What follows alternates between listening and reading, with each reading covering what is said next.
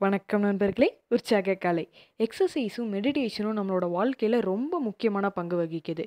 Morning எந்திரிச்சதும் ஒரு fifteen minutes நீங்கள் meditation பண்ணுனா அந்த நாள் ஃபுல்லாக காமாகவும் பீஸ்ஃபுல் மைண்டோடையும் பாசிட்டிவ் ஆட்டிடியூடோடையும் இருப்பீங்க. அது மட்டும் இல்லாமல் உங்களுக்கு எந்த ப்ராப்ளம் வந்தாலும் அதை ஈஸியாக ஹேண்டில் பண்ணுவீங்க. மெடிடேஷன் பண்ணுறது மூலியமாக நம்மளோட மென்டல் பவரும் அதிகரிக்கும். எக்ஸசைஸ் பண்ணுறது மூலிமா நம்மளோட போனும் மசிலும் ரொம்பவும் ஸ்ட்ராங் ஆகும். எக்ஸசைஸை ஒரு டுவெண்ட்டி மினிட்ஸ் பண்ணாலே அந்த நாள் ஃபுல்லாக நம்ம எனர்ஜெட்டிக்காக இருக்கலாம்.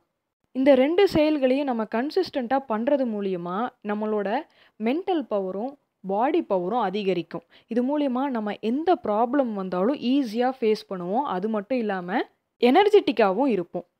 இன்னும் ஒரு பெரிய அட்வான்டேஜ் என்னென்னா அறுபது வயசில் கூட இருபது வயசில் செஞ்ச செயல்களையெல்லாம் அதே புத்துணர்ச்சியோடு செய்யலாம். எக்ஸசைஸையும் மெடிடேஷனையும் ஒரு ஃபிஃப்டீன் டேஸ் தொடர்ந்து பண்ணிட்டாலே போதும். அதுக்கப்புறம் அந்த ரெண்டு செயல்களையும் செய்யாமல் உங்களோட நாட்களே நகராது.